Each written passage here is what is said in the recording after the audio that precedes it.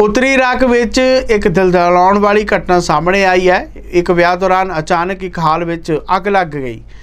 ਮਰਨ ਵਾਲਿਆਂ ਦੀ ਗਿਣਤੀ 100 ਦੱਸੀ ਜਾ ਰਹੀ ਹੈ, ਪਰ ਹੁਣ ਇਹ ਗਿਣਤੀ ਵੱਧ ਕੇ 113 ਲੋਕਾਂ ਦੀ ਦੱਸੀ ਜਾ ਰਹੀ ਹੈ। 150 ਤੋਂ ਵੱਧ ਲੋਕ ਜ਼ਖਮੀ ਹੋ ਗਏ ਹਨ। ਇਸ ਅੱਗ ਵਿੱਚ ਲਾੜਾ ਤੇ ਲਾੜੀ ਵੀ ਜ਼ਖਮੀ ਹੋਏ ਨੇ। ਇੱਥੋਂ ਅੱਗ ਲੱਗੀ ਤਾਂ ਹਜ਼ਾਰ ਦੇ ਕਰੀਬ ਲੋਕ ਮੌਜੂਦ ਸੀ। ਹਾਲ ਦੇ ਅੰਦਰ ਆਤਿਸ਼ਬਾਜ਼ੀ ਕਾਰਨ ਇਹ ਸਾਰਾ ਮਾਮਲਾ ਵਰਤਿਆ। ਸਥਾਨਕ ਅਧਿਕਾਰੀਆਂ ਮੁਤਾਬਕ ਮਰਨ ਵਾਲਿਆਂ ਦੀ ਗਿਣਤੀ ਹੋਰ ਵੱਧ ਸਕਦੀ ਹੈ। ਅਧਿਕਾਰੀਆਂ ਨੇ ਦੱਸਿਆ ਕਿ ਅੱਗ ਇਰਾਕ ਦੇ ਨੀਨਵੇਹ ਸੂਬੇ ਦੇ ਹਮਦਾਨੀਆ ਇਲਾਕੇ 'ਚ ਲੱਗੇ ਮੌਸੂਲ ਸ਼ਹਿਰ ਦੇ ਬਿਲਕੁਲ ਬਾਹਰ ਇੱਕ ਮੁੱਖ ਤੌਰ ਤੇ ਈਸਾਈ ਖੇਤਰ ਹੈ।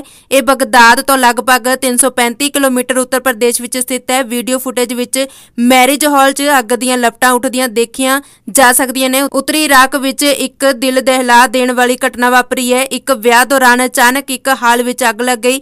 ਪਹਿਲਾਂ ਇਸ ਦੀ ਗਿਣਤੀ 100 ਦੱਸੀ ਜਾ ਰਹੀ ਸੀ, ਪਰ ਹੁਣ ਇਹ ਗਿਣਤੀ ਵੱਧ ਕੇ 113 ਲੋਕਾਂ ਦੀ ਮੌਤ ਹੋ ਚੁੱਕੀ ਹੈ। 150 ਦੇ ਕਰੀਬ ਵੱਧ ਲੋਕ ਜ਼ਖਮੀ ਵੀ ਹੋਏ ਨੇ। ਇਸ ਅੱਗ ਵਿੱਚ ਲਾੜਾ ਤੇ ਲਾੜੀ ਵੀ ਜ਼ਖਮੀ ਹੋਏ ਨੇ। ਜਦੋਂ ਇੱਥੇ ਅੱਗ ਲੱਗੀ ਸੀ ਤਾਂ ਇੱਥੇ ਹਜ਼ਾਰ ਦੇ ਕਰੀਬ ਲੋਕ ਮੌਜੂਦ ਸੀ। ਹਾਲ ਦੇ ਅੰਦਰ ਆਤਿਸ਼ਬਾਜ਼ੀ ਕਾਰਨ ਇਹ ਭਿਆਨਕ ਅੱਗ ਲੱਗੀ ਸੀ।